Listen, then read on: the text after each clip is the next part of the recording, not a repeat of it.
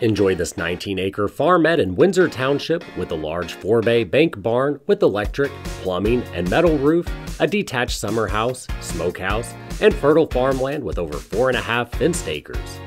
The 1911 built farmhouse offers a living room, kitchen, dining room, three bedrooms, one full bath, and a half bath in the laundry room.